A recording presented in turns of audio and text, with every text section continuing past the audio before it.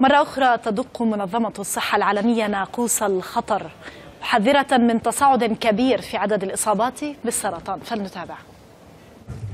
العالم يواجه موجة مد مرعبة لمرض السرطان وتقييد استهلاك الكحول والسكر يستحسن أن يتم التعامل معه بجدية أكبر.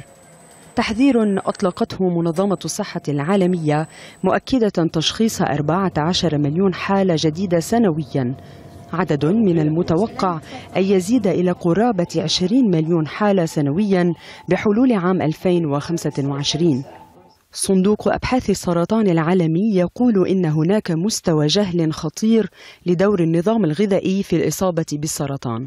ففي بريطانيا مثلا يمكن تفادي ثلث عدد الإصابات عبر الحفاظ على وزن سليم وممارسة الرياضة. يبدو أن الدول النامية هي التي ستتحمل العبء الأكبر من الحالات الإضافية. ففيها تشخص سنويا قرابة خمسة ملايين حالة بمرض السرطان وأكثر من مليوني حالة بمرض نقص المناعة المكتسب وقرابة ثمانمائة ألف حالة بمرض الملاريا.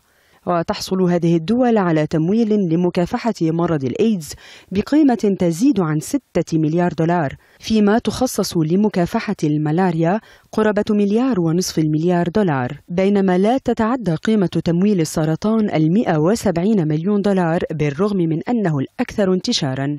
ويتم تخصيص 90% من هذه القيمة لحملات الوقاية من التدخين فقط.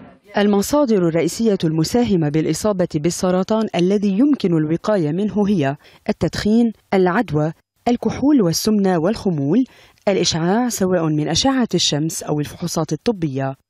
أغلب المشاركين في استفتاء أعده صندوق أبحاث السرطان العالمي لا يدركون مدى قوة الارتباط بين النظام الغذائي والإصابة بالسرطان ويعتقد ثلثهم أن العامل الأبرز في الإصابة بالسرطان هو عامل الوراثة بينما لا تتعدى في الواقع حالات السرطان الوراثية العشرة في المئة من عدد الحالات المشخصة سنويا. دي علاء بزاد دويهي العربية.